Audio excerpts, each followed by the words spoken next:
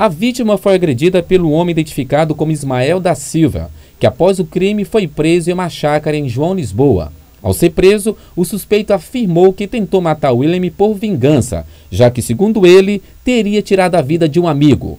A vítima passou por uma cirurgia para retirada da faca e, de acordo com o médico, William se recupera muito bem.